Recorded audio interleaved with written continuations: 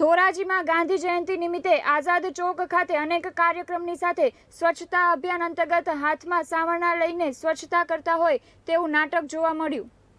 રાજકોટ જિલ્લાના ધોરાજીમાં ગાંધી જયંતિ હોય ત્યારે ધોરાજીના આઝાદ ચોક ખાતે તંત્રના અધિકારીઓ સાથે આગેવાનો દ્વારા અનેક કાર્યક્રમની સાથે સ્વચ્છતા અભિયાન અંતર્ગત હાથમાં સાવરણા લઈને સ્વચ્છતા કરતા હોય તેવું નાટક જોવા મળ્યું. જેમાં ગાંધીજીના સ્ટેચ્યુ આજુબાજુમાં કચરાનો ઢગલો, કાદવ, કીચડ, ગંદકી જોવા મળે, પણ આગેવાનો તંત્રના અધિકારીઓને આ કચરો કે કાદવ, કીચડ, ગંદકી ન દેખાય તે લોકોને પૂછતા જવાબ દેવાનું ટાળ્યું હતું. અને સ્વચ્છતા અભિયાન માત્ર ફોટો પડાવવા માટે કે પોઝ આપવા માટે હોય એવું લાગી રહ્યું છે.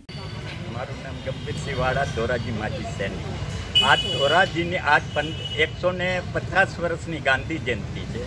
ત્યારે ધોરાજી નગરપાલિકા અને ત્યાંના અધિકારીઓ ધોરાજીના આ સામેણા લઈ અને સાફ સફાઈ કરવા નીકળ્યા છે.